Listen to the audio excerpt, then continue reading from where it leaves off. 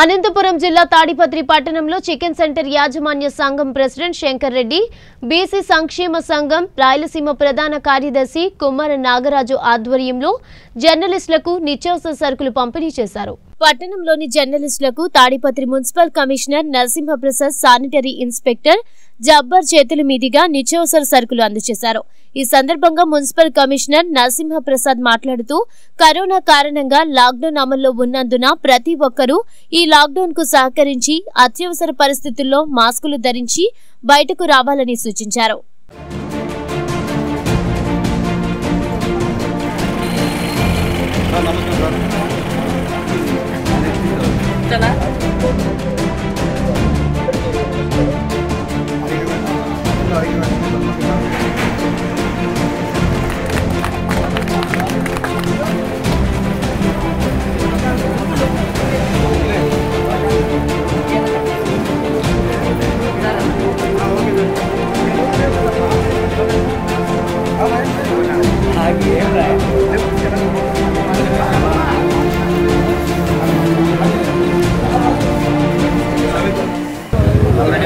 Corona నివారణ చర్యలో భాగంగా ప్రతి ఇంటిని సర్వే చేయడం జరుగుతూ ఉంది.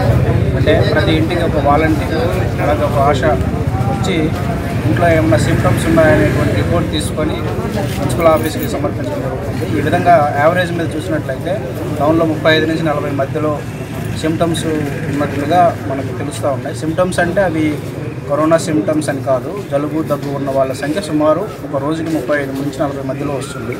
ఈ నలభై మందిని మళ్ళీ డాక్టర్స్ వెరిఫై చేసి మళ్ళీ రెఫర్ చేస్తారు. ఇప్పటివరకు తొమ్మిది కేసులు టెస్టింగ్ పంపించాము మనకి ఐదు కేసులు ఆల్రెడీ నెగిటివ్గా వచ్చాయి.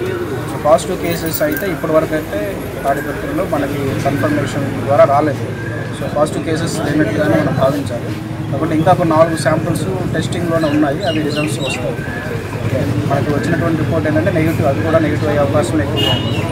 కానీ మనము మనకి ముప్పు ముంగిటే ఉన్నట్టుగా భావించాలి. ఎందుకంటే మన చుట్టుపక్కల ప్రాంతాలలో కరోనా చాలా ఎక్కువగా ఉంది. ఉదాహరణకి వరంగల్ చూసినప్పటికీ కర్నూలు నంద్యాల సో చుట్టుపక్కల ప్రాంతాలు బెంగళూరు ఇక్కడి నుంచి అయినా ఎవరన్నా పాజిటివ్ చూసినటువంటి వ్యక్తి తాడిపత్రిలోకి వస్తే దాని యొక్క ప్రభావం తీవ్రంగా ఉండే అవకాశం ఉంది.